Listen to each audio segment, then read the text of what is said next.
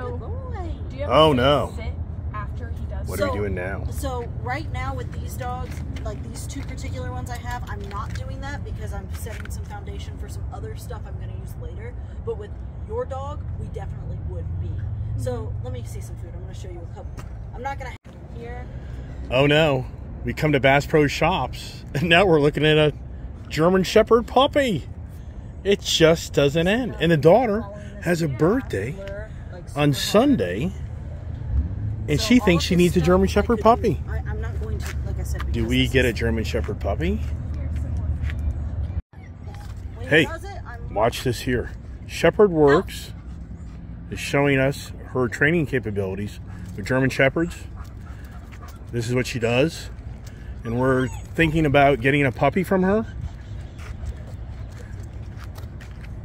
Sit. So he knows to receive the toy just like they would know to receive the food is yes. Out. So you can start marking different behaviors. Out. Thank you. Platz. Since that was slow, Platz. I didn't like it. I'm not gonna reward that one. Sit. All of this is slow. Foos until he gives me something good. Break, which is another reward command. Um, you can teach only want to apply pressure when like, need to communicate with your dog. So, um, what I teach all my dogs is double click to heel, and he'll probably fancy heel on you, or but and like lose his head. But he's my dog, so if he's probably not to do it. me. What I would like to see is him walk loosely beside you and you look up and walk. Like towards this tree, towards this tree, come to a stop and hold up, say sit. I like to pull towards my shoulder. That's Okay. the best point of contact to get him close to you. And she's not pulling on him at all. She's just moving Flux. the Well- leash. She might have to pull on him, though. Remember, Okay. it's got prongs on it, so be careful.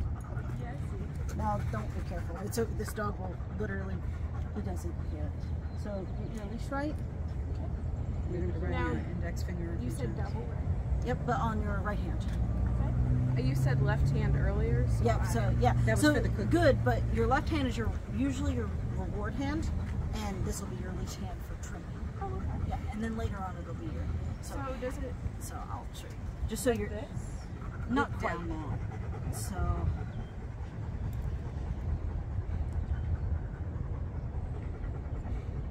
And then it's in the middle of my diaphragm. yep. And he's just gonna follow me because he thinks he's Yeah. supposed to. Make a So noise is or something. Get his right, attention on um, you, Julia. That's about the length that you'll want. So go ahead and just like take a Do couple I steps. need to put the leash on the other side of him? He'll or- flip around. Okay. So go ahead and walk towards Do that I tree. need a double tug? uh, when he flips around. So like, now you can fix the leash. Yep. Yeah, get comfortable. Double tug. Say his name. B O D E N. Boden. Boden. Yeah, and heel. It'll be it'll be kind of stern. Just say Boden heel and start walking double click. Okay. Boden heel. There you go. Yeah. Slacken your line. Perfect. And you just like walk into him any way you need. Okay. Because like if you're looking up, he'll walk better. So you don't really have to. Oh. Yep. Can I He's start like- again? Yeah. Go ahead. Keep walking with him. Boden heel. There you go. Take him for a walk around the parking lot. And you're gonna want to relax that left hand now. There you go. Because he's being good. Yeah. Actually, just drop the left hand. Use your right hand with the leash in it to make him heel if he steps out. Okay. And if he steps in front of you, you can right, yeah, just like that.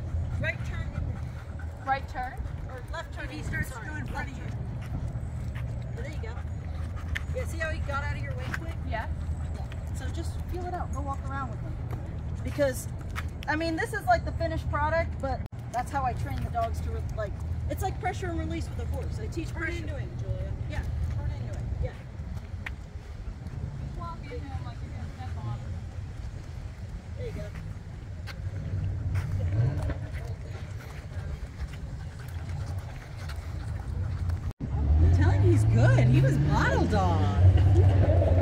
a very good boy. So that's pretty much what I would teach you with an older puppy. If, if they do end up getting a little wild on you, mm -hmm. we can just put that here. Now, I don't know that we need, I mean, I, uh,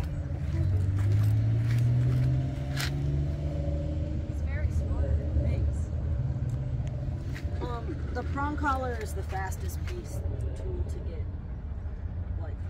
I just didn't want her pulling up like we do on our dogs Oh. because we don't use one of those. Yeah. So when we want them, you know, we just kind of, you know, Like- come on.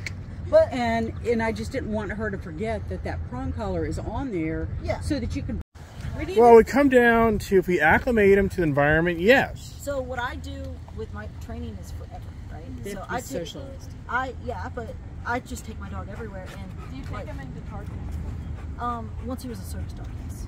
Yeah. Um, but like, there's a lot of dog friendly. So like, this is this store is dog friendly. I'm about to go walk. Not I'm not gonna put these puppies on the ground. I'm gonna walk them and show them. But like, as they get older, that's what I want the people to do. And so I was telling you, food was payment, right? All right. The wife is hiding out of the video. She was the, uh, well, we made it all happen. So we just got a new German Shepherd puppy. But it's not these German Shepherd puppies because it's actually this next or next week, Thursday, that they come available. So Amanda here and Miranda, Yes. they are the proud uh, promoters of what is it, Shepherd Worx? Yeah, so um, you guys can find me at the Shepherd Worx, W O R X, on Instagram, and you can see what I do with these dogs and what this family just got um, a personal protector and best friend. Okay, so my daughter just got a happy birthday present. Thank you. Are you excited about this? I'm. So we Oh, yeah. so we just added another dog to our four dog collection. So we'll now have five dogs, and we're going to come back here in the next week or so and arrange to pick up the dog. We'll do a hundred video, and we'll see your facility, right? Can we see that and show more? So thank you very much for participating in Ice Age TV's you for having. YouTube channel, and hopefully this helps anybody else out there that's looking for a puppy. And a little secret here: great pricing, great pricing. So that's something you should really consider. Great deals. Hope this helps you. Next German Shepherd puppy. God bless, stay safe, and stay tuned. Uh oh. So the salesman here is really pushing it now. He's uncovered the boat just for me. And oh my goodness gracious. First look. First look, and what's really cool, it doesn't have the uh, trolling motor. That's some money saved. I can always buy that down the road because I'm gonna be the guy blasting around the boat. Not so much fishing on the boat. Oh my gosh, this thing just seems to me so practical. I mean, why is that? You know what I mean? It just seems like it's a good practical boat to buy because it's not radically expensive.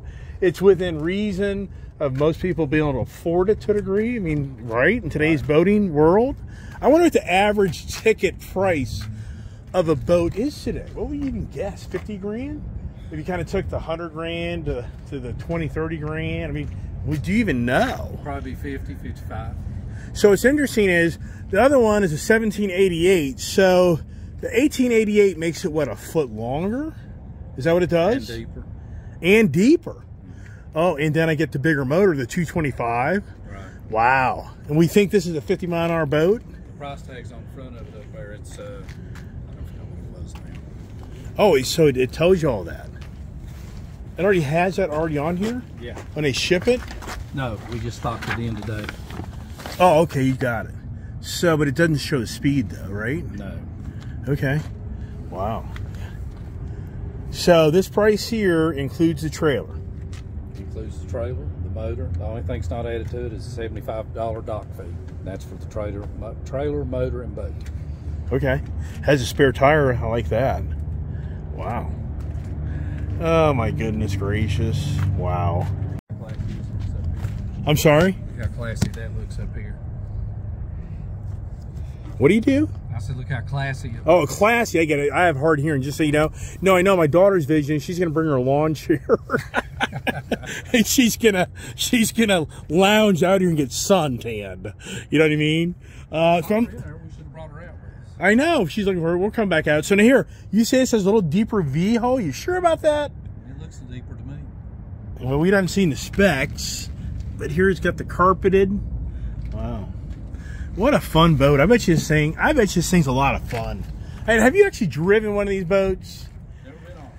Never been on. Have you actually heard anybody that's bought one and been like, it's just a really fun boat, or you even know? If you don't know, that's fine. A guy bought one and took it to his cabin in Maine, Yeah. and He seems to love it. He said those waters are so rough up there that this was the boat.